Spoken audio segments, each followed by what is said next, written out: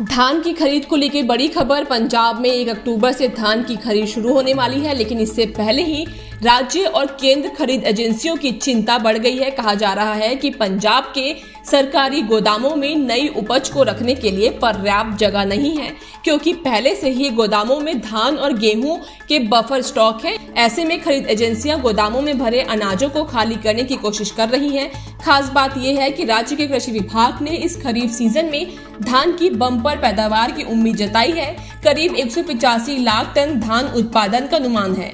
Media reports के मुताबिक गोदामों में पिछले सीज़न का एक सौ बानवे लाख टन अनाज भरा हुआ है, जिसमें 125 लाख टन चावल 60 लाख टन गेहूँ और सात लाख टन धान है। ऐसे में विशेषज्ञों का कहना है कि राज्य के खाद्य एवं नागरिक आपूर्ति विभाग के लिए अगस्त और सितंबर में खाद्यान्न स्टॉक को उपभोक्ता राज्यों में ले जाना एक चुनौती है ताकि ताज़ा खरीदे गए धान के भंडारण के लिए जगह बनाई जा सके।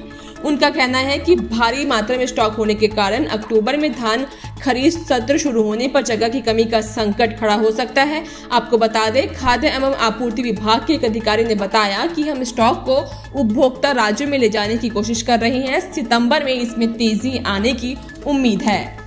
तो इस वक्त की बड़ी खबर आ रही है पंजाब से, जहाँ एक अक्टूबर से धान की खरीद शुरू हो जाएगी। हालाँकि गोदामों में जगह की कमी बताई जा रही है। धान की खरीद को लेकर बड़ी खबर। पंजाब में 1 अक्टूबर से धान की खरीद शुरू होने वाली है, लेकिन इससे पहले ही राज्य और केंद्र खरीद एजेंसियों की चिंता बढ़ गई है। कहा जा रहा है कि पंजाब के सरकारी गोदामों में नई उपज को रखने के लिए पर्याप्त जगह नहीं है, क्योंकि पहले से ही गोदामों में धान और गेहूँ के बफर स्टॉक है। ऐसे में खरीद एजेंसियाँ गोदामों में भरे अनाजों को खाली करने की कोशिश कर रही हैं। खास बात यह है कि राज्य के कृषि विभाग ने इस खरीफ सीज़न में धान की बम्पर पैदावार की उम्मीद जताई है। करीब एक लाख टन धान उत्पादन का अनुमान है।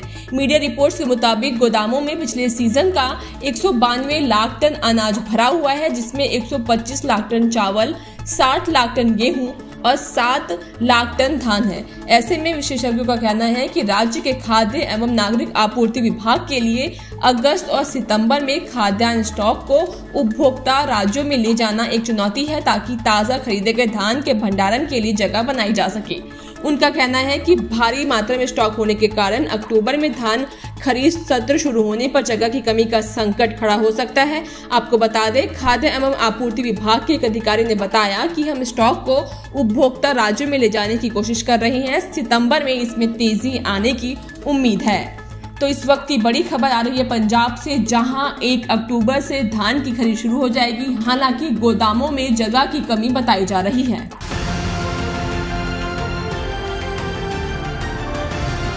किसान तक। खाना है तो उगाना है। किसान तक खाना है तो उगाना है। किसान तक? खाना है तो उगाना है। किसान तक? खाना है तो उगाना है। किसान तक। खाना है तो उगाना है। किसान तक खाना है तो उगाना है।